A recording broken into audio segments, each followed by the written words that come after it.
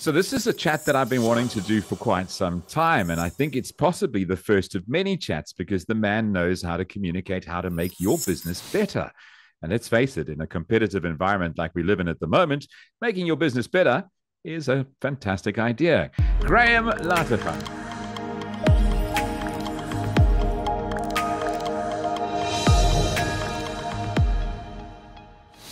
Ah, fantastic, Gordon. It's such a privilege being with you. I was just saying the other day to somebody, I reminisce about the time and the history that we have, uh, going back many, many years uh, to the radio days. Yeah, yeah, I'm still passionate about radio, man. I like it's uh, it's radio's kind of like a gang. You know, you can get in, but getting out is a lot. It's like that Hotel California song, I reckon. Yeah. So, gee, yeah. uh, the, the, reason I got hold of you was I was looking at at just post COVID, you know, businesses are struggling, obviously, post COVID to get themselves back to the profitability and the turnover that they were before. Yeah. And I know it's been really hard, but there are a couple of self sabotaging businesses that I've seen that frustrate hmm. me um, because of the way they've dealt with their PR uh, messaging to, to their potential clients and to existing clients.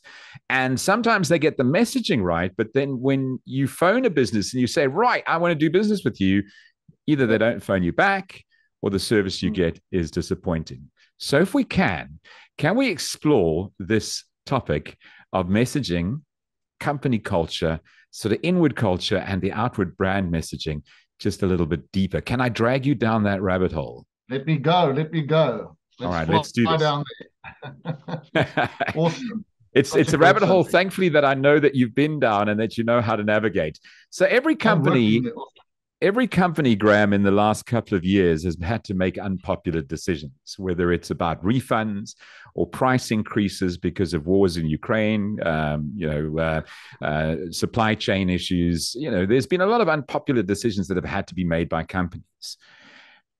Is there a right way to to communicate an unpopular decision to your client base or your future client base, and what would it be? I don't think we've actually gone into the rabbit hole. I think we've fallen into it straight away. It's like this is a deep one. Welcome. But, but, it's it's it's a relevant topic, and and you know, Gordon, uh, this is a, a, a I want to call it a plague. It's it's a plague that's affecting um, a myriad of companies and businesses around the world. So you must understand that making kind of unpopular decisions inside your organization, I call them tough decisions or tough conversations, difficult conversations. It's something that we are avoiding in business to a, to, to a major extent. And it's the only way to run a successful company is to kind of have these uncomfortable uncomfortable conversations. So there's a there's a few tips, um, and I think uh, you know off the top of my head, um, we can kind of gather them together. Uh, they, they, I think of transparency as one. Hmm. Transparency for me is, is is like the key, one of the key fundamental foundation parts that actually keeps the company together. That helps you to make uh, unpopular decisions or even tough conversations a lot easier to digest. Um, and then the impact. Um, you know, a lot of companies avoid um, uncomfortable conversations because they're scared of the impact it will have on their brand. I don't know if you've picked this up before. You know, so so they they they fear what can happen to their brand and their image, etc. And I think it will do the opposite. So it just strengthens who your company is if you can have these uncomfortable decisions. So, yeah, that's two uh, yeah, facts, f- factual evidence. I mean, or factual statements. We we we seem to put you know uh, butter things up too much. You know, um, uh, one of the uh, uh, great failures of organizational culture is uh, the lack of sticking to the facts and being transparent about that. Is kind of where I am. And you know, Gordon, I think we've spoken about this often before. Your messages that need to be clear. If messages are not clear to to who you are communicating to, in fact, communication intelligence. I mean, that, that's key for me. If you if you and and obviously to deliver that very clear message, and of course, positive language. It's Too mm. many companies are finding themselves in uh, the status of uh, or in this dark hole, if we want to call this a rabbit hole, of uh, being very negatively positioned because they are chasing one thing and one thing only the bottom line. So nothing else matters. Uh, you, you get where I'm going. And of course, solutions. If you don't offer um, solutions at the advent of uncomfortable decisions, I think you, or conversations for that wow. matter. Wow. You're going to miss it. You're going to miss it completely. You, you, wow. I mean, we could literally spend an hour talking about what you've just spoke about. transparency when you need yeah. to communicate something, if people pick up that you're not being open with them, there's an instant hesitance to trust you. Uh, factual, being honest and saying, look, the reason why this is happening is X, Y, and Z. Then that yeah. positive language, I mean, this is incredibly powerful stuff. Just saying, it's okay. We're, we're going to figure this out and we're going to be better than ever. And you and I are going to work together and it's going to be amazing. And then offering the solution. So don't, don't just say, oh, by the way, electricity needs to go up 16.85% but we're going to change you know. So so I, I, love i love what you've just communicated you've literally nailed down messaging. In if you want to message your company correctly just rewind this video and listen to what graeme has just said in those five points. Um, and yeah. that I, that transparency is so important. That fear of backlash as well graeme do you think that in in a world with social media i mean we've seen various companies that have made this mistake. They put something out on socials and it has bit them badly. Does that drive a lot of that fear as well, where they're like, well, I don't want to go public yet with my bad message, or I need to try and um, disguise my bad message or my bad uh, conversation or serious conversation 100%. because I'm worried about what social media is going to do to me, or what, you know, I mean, that uh, must drive a lot of decision making. Of course, but it also drives a lot of mistrust. Social media is not a platform that we can actually trust anymore. No. I mean, uh, if I'm not mistaken, the US race for the US presidency taught us that. And then, of course, uh, you know, the advent of the purchase of Twitter and then Facebook and where it's going on, and then who's got your information, who hasn't got it, and what are they doing with it. So I don't use social media to actually carry my brand. I would I would kind of put it somewhere else, but I mean, again, social media is what it is. Um, but at the end of the day, the faster you do it, the quicker you do it, and the more simplified you carry your message over. Mm. Um, and I can use I can use case studies, but we don't want to go there with with with particular because I teach that for with organizations. But at the end of the day, the quicker you get it out there, the more transparent and the quicker you own up, accountable, responsible. Right, right, right. No, you're spot on. Uh, there's there's a there's a term, and it, it's it's a little bit of an industry term, but it's called driving the narrative. And yeah, when something negative happens, if your PR department is not out in front of it, driving the narrative, then you're handing the steering wheel to whoever. Yes. And they're going to drive the narrative, and you're going to be playing catch up. So it's best to get out in front of it, like you say. and the troll is deadly. Um, uh, uh, it's deadly to your culture. So it, it's you, you know the kind of messages that you bring out there. We cannot have that warped in any way. Hmm. Um, it just sets the pace and tone, Buddy. It's it's uh, okay. Let's it's let's flip this on its head. So, yeah, company makes a hard decision. Messaging is right. They get out there, their PR is spot on, they're positive, they're providing solutions. A customer who has money in bank or in wallet decides to trust them and do business with them, and then finds out that the culture inside that organization is rotten. Mm. That's that is so dangerous. Don't promise me the moon and then hand me a stone. Um, yeah. Let's talk around mm, that. Yes. The company culture, the internal brand value versus the external brand value. Very much so. So I, you know, for me, if if if I go back to um, your original organizational culture kind of setting, um, you must understand that in today's business, we don't see us and them. Uh, for instance, in the clientele context, or shall I say, in the organizational context, it's not employees and external customers. They are all customers. They're all clients. Hmm. So inside your company, you've got to look at your employees as your customers and you've got to look at one another as clients and then your external customers who buy from you or who can support you or are loyal to you from for, for that matter um, see that image straight away you can see when you walk into a company you can quickly tell if you are tuned in uh, the organizational culture or the culture of the leadership and or the, the the the staff inside there and people are very attuned to that so customers are not loyal anymore I mean, gone are the days of loyalty. And mm. although we are in this economics, um, can I call it uh, this economic time warp where we want to kind of get the best deal, the cheapest deal as far as possible, that's not, not that's not actually the case. People will go where culture is good. Mm. Uh, customers support where employees are good. And if employees are not good, then there's something wrong with your internal uh, your, your internal customer base. So yeah. I think that kind of gets you going, you, you know, you know, um, and, and, and again, that also then mirrors the fact that your internal customers, your employees, are not loyal either. Right, right. So, so why would your external customers be loyal if the internal why? ones aren't? Yeah. yeah. I think our next video is writing itself here. Our next video needs to be on staff retention and how, how to oh. make sure that you keep your staff. High staff retention is not uh, not just purely a, a, sign of uh, bad recruitment; it's possibly a sign of poor management. Fish rots Definitely. from the head. Let's talk about that. Who sets who sets the temperature? Who sets the culture in an organization? Well, I think you know we could probably Google this all day. Uh, at the end of the day, the the the, the the clear answer to that is leadership. Now, I'm, I'm currently studying management and leadership as, as, as two contrasts, but exactly the same thing. So they're not separate in my view. So you are right. It, it's it, the management and leadership sets the pace and the tone at the top, and then also internally, because obviously it's management and leadership throughout the diverse of a, uh, diversity of a company. So it sets for me the boundaries, actually the rules of engagement.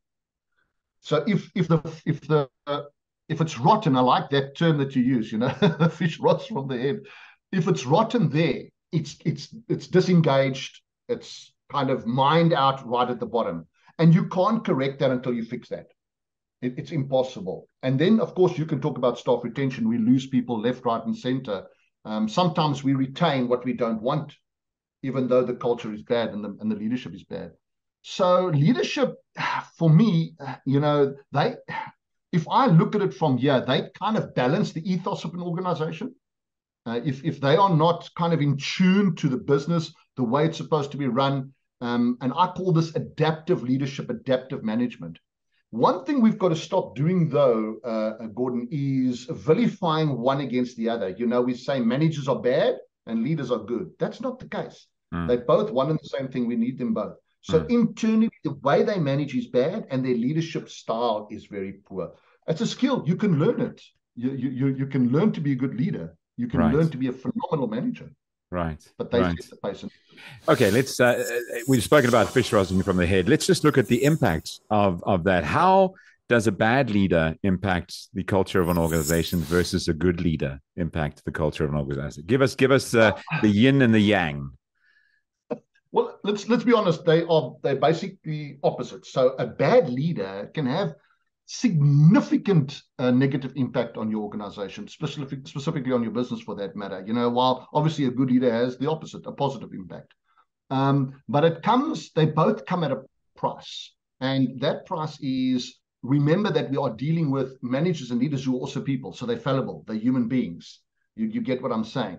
So mm-hmm. we hold them to a higher standard and and uh, unfortunately, that standard is sometimes uh, put on a pedestal that is sometimes unachievable for them. Right. And that's where the negativity creeps in. So we are too quick to promote. That's that's one of the big problems. And we're too quick to uh, um, employ uh, based on yay high kind of the old traditional models. So it goes to your recruiting and yes. it goes to your skills ma- uh, yes. management inside your organization. Yes. So if you bring in bad leadership without doing your due diligence on bad management, it will begin to affect your organization uh, negatively, decrease customer satisfaction, you'll decrease employee engagement, um, people will be demotivated, uh, uh, they'll be disengaged for a number of reasons. Conflict obviously happens. You raise the emotional intelligence levels um, to uh, non palatable so that's one of the big issues with negative leadership and negative management, for that matter. Opposite, of course, is is is relative. Uh, a positive leader is somebody who adapts to the people. You know, uh, our old mindset, Gordon. If you remember, we were taught in the older days that a that I'm the manager, I'm the leader of the company, I'm the boss, I'm the owner mm. of this business. You mm. do it my way. Mm. Wrong approach. Wrong approach. You now have to adapt to your people because you are bringing in them their, their skills into your organization. And I love the Steve Jobs term. I don't know if you've heard it before. It says we bring people into our business so that they can tell us what to do, ah. not that we can tell them what to do. Ah. So, you're, and it's, so this is not a new concept. But management and leadership, um, can I call it people inside businesses, are not positioned to adapt to their people because you're bringing in different cultures. Are you bringing in different um, religious beliefs, uh, sexual orientation, all these yeah. different cultures that yeah. we talk about in diversity? I love the term. and we, we we just want diversity on paper, but we don't want to deal with the characteristics that go with those. And a leader manager has to adapt to that. Yeah. So for me, that's where it stands. Uh, mm. you know, in I like that. Opposites. You know, yeah, I like that. I like that. You're talking about diversity, uh, but there is a way to develop a company culture with all of that diversity if you have a good leader. Yeah. I really like the way you did that. Um, okay, so uh, let, so we've had a look at the outside messaging. You've given us some really good information, and then we've had a look at that inside culture: good leader versus bad leader. Let's put it all together and say you are uh, Graeme. You're a company uh, that has come through two years of lockdowns. You've had to, uh, you know, uh, maybe retrench one or two people. You've had to cut salaries. Now you're starting to build again. You're coming back into the markets, and you need to yeah. get your profitability up. But in order to do that, you're going to have to raise the price of uh, of maybe a service or or a product. Let's talk about. Um, give us a practical advantage, uh, a practical example of how you would structure that internally, and then message it externally to your clients, so that your clients go, "Okay, we'll pay extra, we'll pay more uh, because we like doing business with you." Ah, that's the word I was hoping to get. We like to do business with you. So, so uh, this is not a new concept either, though. You know, Gordon. I mean, uh, I will spend money. I don't know about you, but I will spend money at any company and take their price increases and on any given Sunday if I feel that that company has my needs. They are meeting my needs. They are uh, um, they're a, a, transparent company. They're very open with their policies and their values. Um, they drive their mission and their visions. Um, I know that's old talk, but it still has and holds water today. Um, if they treat me uh, like I am the customer, I am the person in the world, if you get what I'm saying. Um, and on the same breath, I, I, I don't want to be demanding, etc., and and through loyalty kind of drive them to keep their old prices. I mean, I run a business; it's very difficult for me to have price increases because companies inherently uh, look are looking for economic um, escape rooms. So let's let's you know call a spade a spade.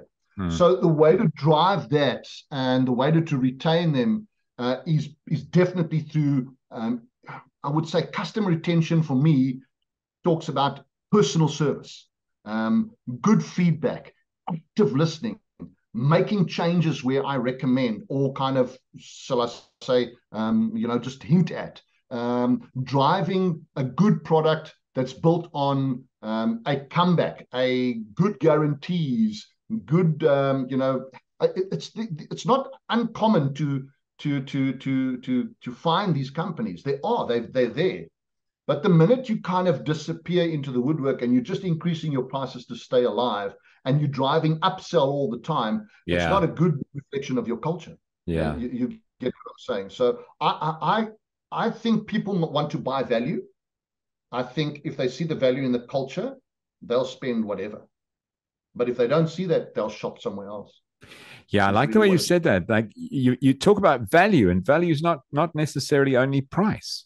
Value is no. is is a is a holistic. Um, it's, it's all encompassing. I mean, it, it it includes the quality of the product I'm getting, the quality of the after sale service I'm getting, what my customer experience was like, uh, down to eventually price. I mean, competitive pricing is never a bad thing but that value yeah. is uh, it's possibly the mistake that a lot of businesses make uh, g-man is is if i if i price it lower than everyone else i'll sell more. And that's not always the case. That's not the psychological issue that you want to kind of carry. That's not the message you want to sell people. Yeah. people will, will spend money where they get value where they where they where they see that um, you know I'm driving. Um, uh, for instance, I, I, I often use the salesman's talk with regards to uh, company culture. Um, I'll buy an, an expensive car, which I probably cannot afford, but I know that the car has safety features. The, the, the salesperson knows what they're talking about. The culture of the company is healthy, good after sales service, things like these. We're talking customer service, but it is culture. Mm. Uh, you understand? So, so that's what I want to see when I'm looking at a product. You, yeah. you get uh, um, yeah. we can we can uh, if you if you see people look, uh, shopping for watermelons in the store, they're knocking on the watermelon. Have you seen that before? I yes. love that. Yes. You know, and I even I've now submitted to that habit. So I knock on and I and somebody told me, you know, if, if it makes a certain sound, it's right. I'm saying, yeah. but how the hell do you know that? You know, but there seems to be some truth in it, and that's what people will do. They'll knock and they'll listen and they'll check and they'll observe and and, yeah. and they'll see this is the right thing. If it just doesn't feel right, ah, the gut feel is there, and they're gone. Yeah, and and I mean every every uh, business interaction you have with with a with a person is transactional, and that's why that messaging for me, the external messaging has to match the internal culture of a business. Um, there are some companies where their brands are incredibly strong, but once yeah. it's like an eclair, once you go through that strong chocolatey brand on the outside, there's this mushy air on the inside, and you just walk yeah. away feeling kind of disappointed you know, kind of like my first girlfriend felt after our first date, you know, very similar kind of kind of experience. Um, so so let's talk about the value of of the two matching each other. You know, whatever I'm selling to the public on the outside, I need to have on the inside of my business. Of course. Uh, the two are workplace culture and the other one's organizational culture. So um, I had a phenomenal saying to come, I just can't recall it now, but it, it basically uh, uh um, it speaks about um, your your your organization has to lust. Now that's going to sound weird, but bear with me. It has to lust. People must want to be engaged with you, your internal and your external clientele. And yes. of course, uh, at the end of the day, the saying goes: happy employees, happy customers. Game, set, and match. Hmm. But at the end of the day, there's there's those two uh, mirror one another: organization versus workplace. So uh, Uh, and we've got fantastic companies in South Africa. I think, if I'm not mistaken, I'm happy to mention Tiger Brands won employee best employee of the year. So yeah. we've got fantastic companies that know how to run this, and they've got large workforces. So don't blame that.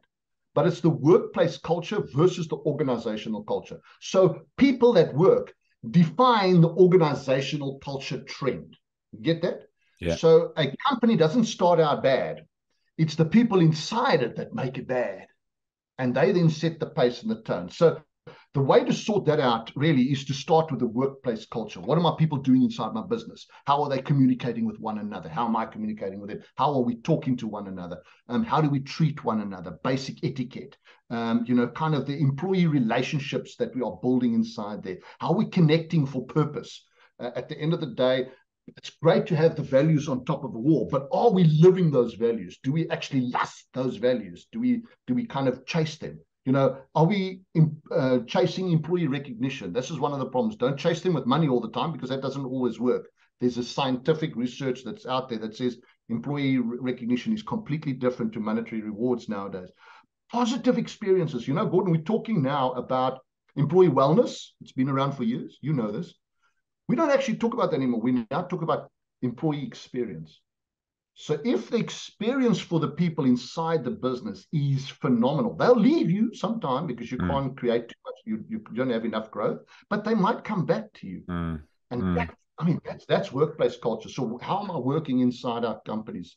Um, you know, we know phenomenal organizations that have phenomenal working spaces for people. If your environment is unhealthy, unhealthy employees, negative customers, people you yes. drive away. I mean, yes. I think that's kind of where I want to spend time on in terms of, you know, sharing this with you. But it's the workplace culture. So get that right, organizational culture follows on its heels. So the internal temperature of the business will drive the external uh, messaging of the business, and and uh, one way or another, even if you even if you try and sell the fake on the outside, if the inside doesn't work, your audience will figure it out. Your listeners or your readers or your customers or your potential, they will figure it out. And and you spoke about that authenticity, you know, about being transparent and the like. Uh, people nowadays, it's all about authentic you can be flawed, just be real, you know. Uh, and I and I don't think a lot of companies realize that, Graeme.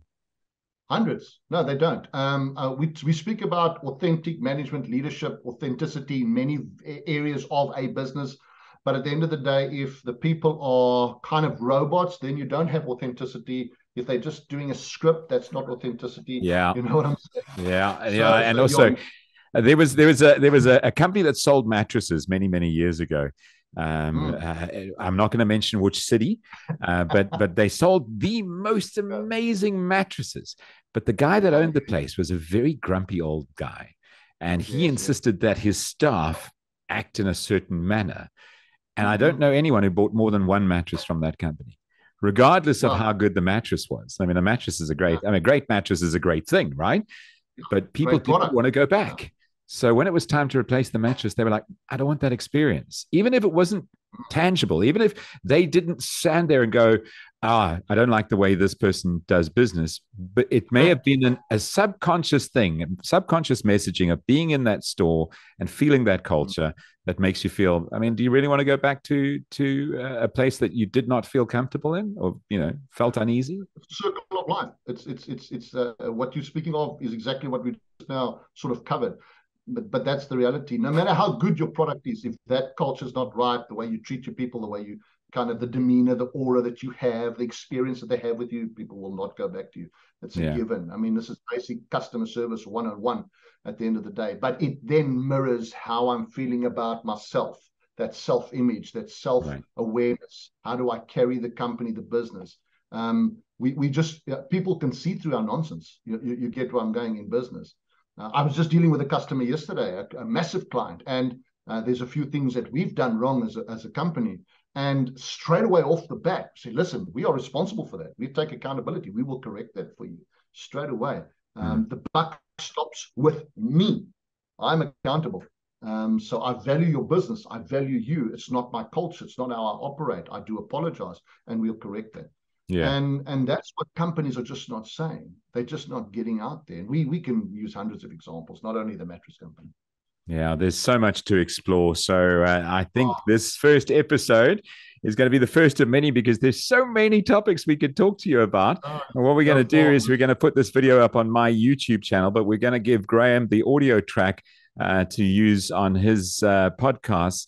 So, Graeme, give us uh, give us your company details. People want to find you. Um, there may be one or two managers watching this or listening to this that say, "I've got a cultural issue in my business. I don't think I'm a bad leader, but it's clearly not working. So, what do I do?" Well, what you do is you get hold of Graeme. Where do you go? That's great. Well, our company is GL Training and Consulting. Uh, we operate nationally and internationally, for that matter. Um, but we're based out here in Gqeberha, Port Elizabeth area. Um, and we have offices in different centers around uh, South Africa. Uh, in essence, we are subject matter experts in management and leadership. That's kind of where we spend a lot of our space and, and, and take up a lot of time in organizations.